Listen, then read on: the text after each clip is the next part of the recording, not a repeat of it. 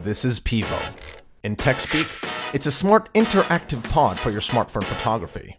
In plain English, it's just an awesome turning awesomeness. It's not going to make your life better, but it is going to let you be insanely creative with your photos and videos. Here's how. Pivo can follow you as you move, We always start with sanding. with both front and back cameras.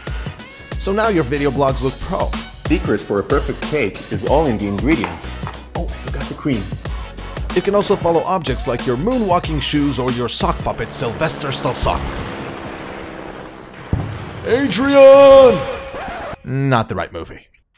Pivo partnered with Restream, so whatever you shoot, with Pivo you can go live on over 30 platforms at once, so all your followers can enjoy your sock. Pivo has a lot of quick creation modes. This is Versus mode.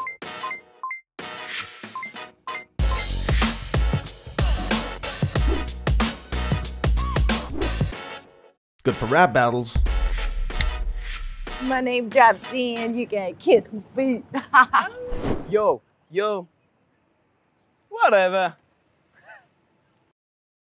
but also for this. I'm here with my boo. Who's that guy? What guy?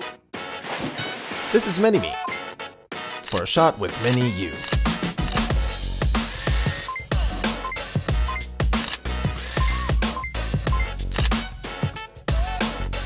Even a view coming to hug you but being blocked by you while you look at the entire thing laughing.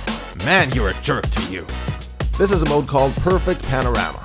You know, so there's no this. Ouch. This is Double Take.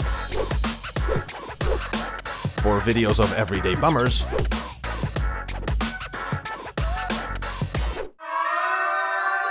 or for when you want to express how you feel about your diet.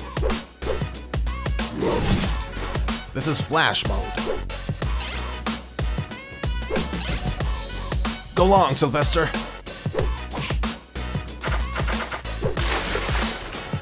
And this is 50-50, where 50% of the screen is still, 50% video, and 100% nice. And there's also Tiny Planet and Motion Time-Lapse. It's time-lapse, but with motion. Move it, people. And with the Pivo tray, you can use turntable mode for 360 product shots or to lick ice cream evenly. Pivo can work by snapping your fingers, saying cheese, cheese, with a remote, and of course with the app, because it's smart, like you. Pivo is for YouTubers, speakers, comedians, wannabe comedians, content creators, photographers, sock puppets, wannabe sock puppets, and just people. Now it's up to you. Get Pivo. Be creative. Insanely creative.